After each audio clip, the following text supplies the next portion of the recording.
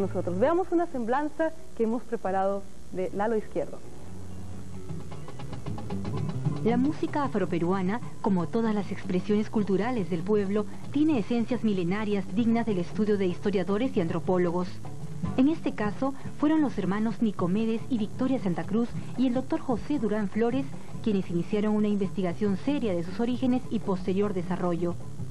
Victoria, al fundar el conjunto Teatro y Danzas Negras del Perú, creó una escuela de la que salieron los más insignes representantes del arte negro, entre ellos el famoso bailarín y estudioso Lalo Izquierdo. Lalo nació en el Rímac, específicamente en el tradicional barrio de Malambo, y desde muy niño corrió por sus venas la música negra. Cuando cumplió los 16 años, su hermana, considerada la primera percusionista mujer del Perú, Vicky Izquierdo, lo llevó donde Victoria Santa Cruz y allí empezó una fulgurante carrera artística. Siendo ya profesional del baile afroperuano, se unió a Ronaldo Campos, Víctor Padilla y Rodolfo Arteaga, hijo de la famosa Valentina, para fundar Perú Negro, una de las más trascendentes expresiones folclóricas de nuestro país.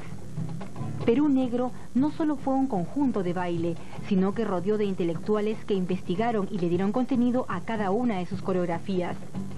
Con Perú Negro, Lalo Izquierdo recorrió todo el mundo, a lo largo de nueve fructíferos años, al cabo de los cuales decidió instalarse en Venezuela para investigar la relación de la música negra peruana con la caribeña y centroamericana.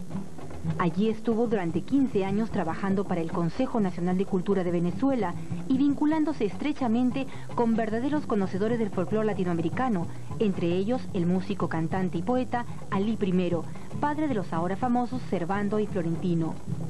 En 1993, Lalo Izquierdo regresó al Perú con la idea de estar 15 días para desarrollar una investigación folclórica pero fue convencido a quedarse definitivamente por Queta Rotalde, directora de la Escuela Nacional de Folclor.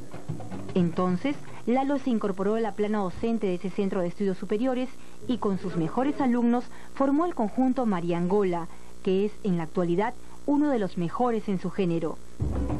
De esos 15 años de investigación, regreso a Perú y me enrola a la Escuela Nacional Superior de Folclore.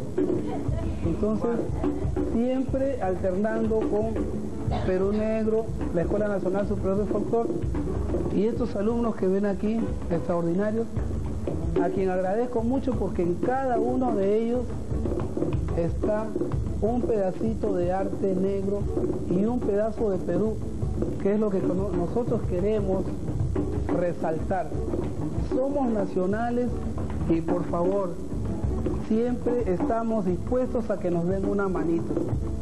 Muy agradecido a estos alumnos y gracias, gracias a las personas que hacen arte, a todos los grupos que hacen danza o música negra, también que se preocupen para llevar un poquito más la documentación e enriquecer nuestra etnia.